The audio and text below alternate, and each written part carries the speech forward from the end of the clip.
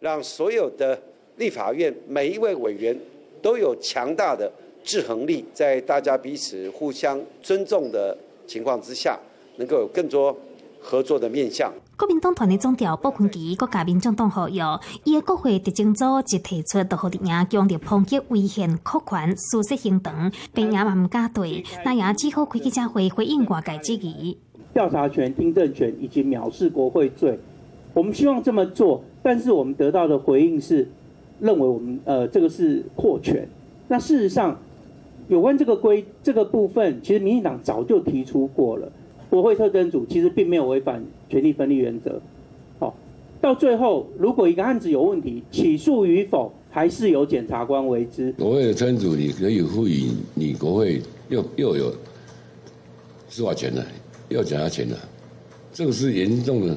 现现任冲突。检察官出身的李宗宪等等，既然能够讲出这种言论，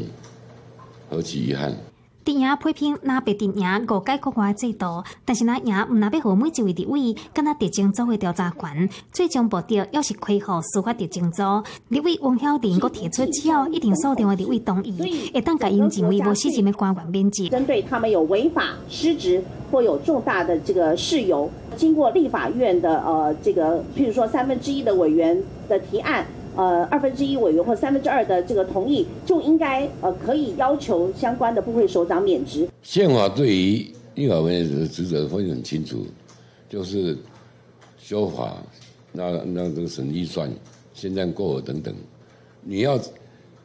立法委员要扣权，请去修宪，好不好？异想天开，自己在设计，自己讲自己给自己爽的，啊，这个是贻笑大方，请国民党继续讲下也没有关系。那亚当两届再度加做国会多数，不断出击，想要顶卡手，但是一直好伫亚自己伫咧扩权，美食新闻综合报道。